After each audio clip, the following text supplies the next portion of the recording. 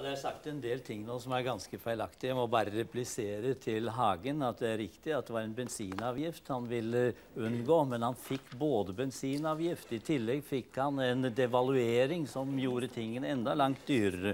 Så det er nå én side av saken. Dessuten førte vi en samordnet jordbrukspolitikk i Willoch-regjeringen som var meget fordelaktig og meget positiv. Så de tingene må stå fast.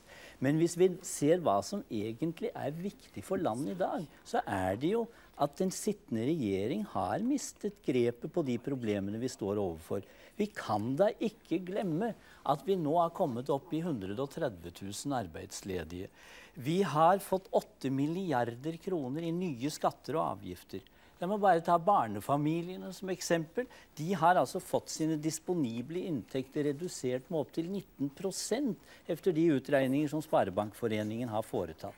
Vi har nettopp fått opplysninger fra Statistisk sentralbyrå som da forteller at det er, det er dårlige tider fortsatt. Tilbakeslaget bare fortsetter, sier de.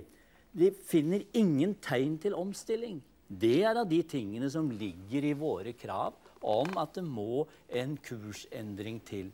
Og hvis man nå kunne konsentrere interessen om det virkelige innholdet i politikken, den hverdag som folk flest møter, og gå inn i hva kan vi gjøre for å løfte landet ut av disse problemene, snakke om de virkelige nasjonale interesser, da kunne kanskje denne debatten bli mer interessant. Nå driver vi liksom og prøver å, å, å fremstille hverandre som eh, ikke, ikke pålitelig forhold til å, å, få til noe. Det tror jeg er feilaktig. Hvis vi konsentrerer oss om politikken Ja, men da er vi to enige. Endelig en sak da Du kommer tilbake til fortiden hele tida. Nei, nå snakker jeg om fremtiden. Ja, det,